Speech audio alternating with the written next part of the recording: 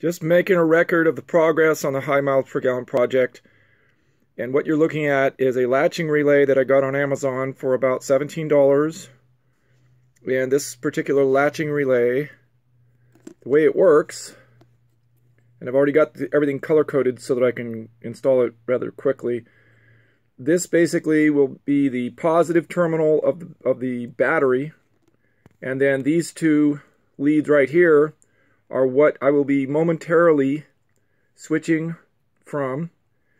In, in effect, basically what that's going to do is cause these circuits that are run through here on the right side to either be connected or disconnected.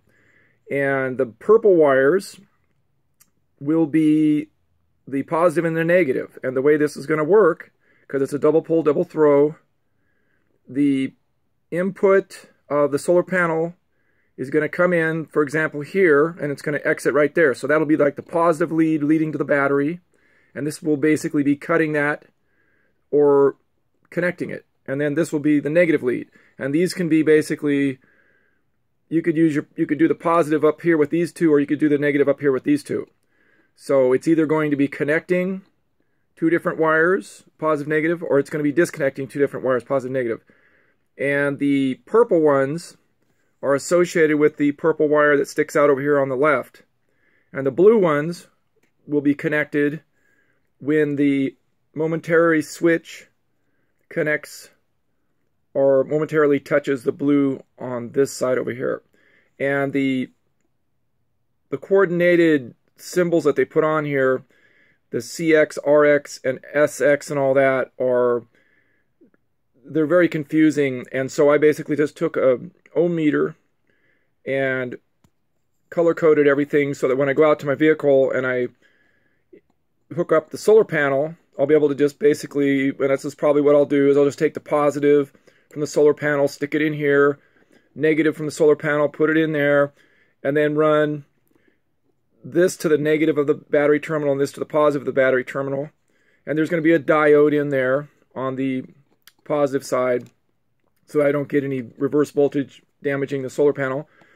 And the reason you want to go with the latching relay is because it doesn't take any power. There's there's no energy drain or no um, parasitic drain from the battery.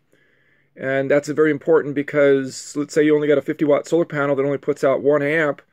You don't want to be using uh, one tenth amp for some relay or your charge controller. And I don't like to use a charge controller because it knocks your voltage down and you really need to have voltage that is going to be above the battery voltage and the charging circuit can keep that battery voltage up to about 14 and when you start using a charge controller it's hard to get that voltage up to 14 because the charge controller knocks the voltage down quite severely.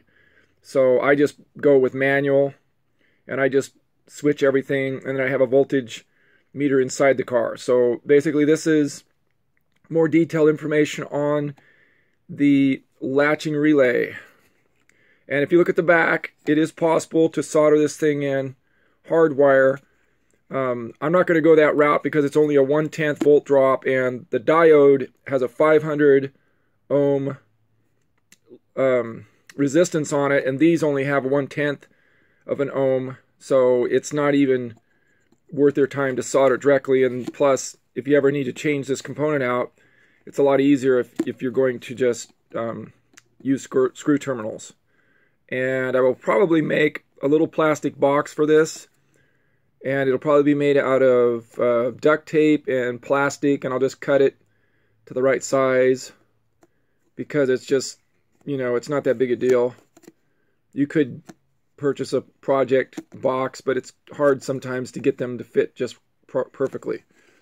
So um, anyway, that's all I got for the latching relay. And thank you for watching.